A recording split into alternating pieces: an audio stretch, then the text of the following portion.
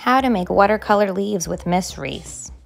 Materials, paint, sponge, paper, Sharpie, crayons. Step one is to draw your leaf. I'm going to make my first leaf with a permanent Sharpie marker. I just need one marker right now and my paper. I'm going to make my stem first, then a curved line for my leaves, or the edges of my leaves, and then I'm going to give it some veins. Of course, write my name. Activate paint with a little bit of water. I'm now, after activating my paint, going to take just a little bit of paint, one color at a time, and mix it with some water. I'm then going to start with the border or the outline of my leaf and work my way in. If I want to add a second color, I'm first going to wash off the paint in the water off of my paintbrush on the sponge and then add in my second color. I only need a little bit of color and a lot of water, the more water you add, the farther your color will go. I'm using orange, yellow, and for my stem, I'm using a little bit of brown. This is going to give the effect of a fall leaf. I'm going to add in some color on my veins as well. I'm going to make another leaf now, but this one's going to be a different shape.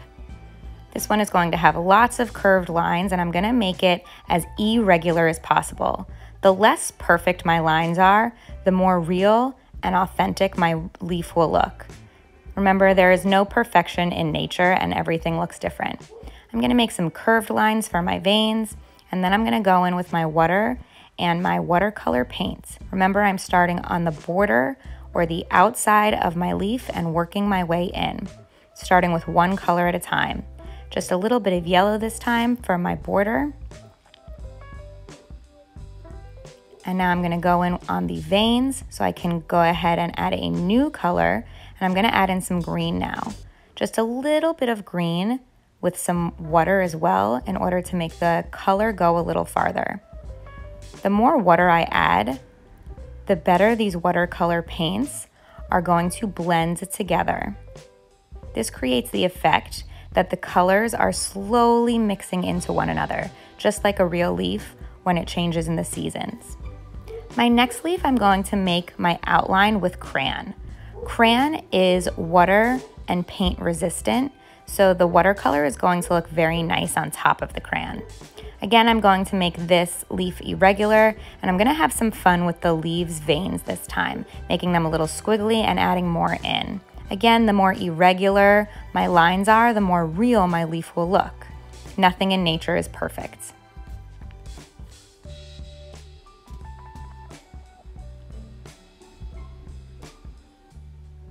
Don't forget to write your name. I'm now going to make this leaf with some darker red colors. Each leaf should only have two to three colors maximum.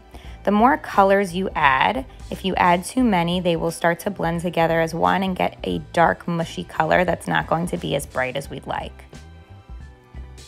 The darker the color, the more water you'll need to kind of spread out your color I'm going to again start on the outside and work my way in, adding in my second color, which is brown. And then I'm gonna add in water to blend them together. We don't wanna use too much water because we don't wanna make our paint and our paper soggy so that it will take too long to dry.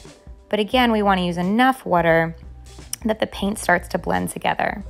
Don't forget, it's okay to make messes, but we must clean up after we make them. Again, you can make as many leaves as you want and try to have some fun and enjoy yourself. I can't wait to see your masterpieces.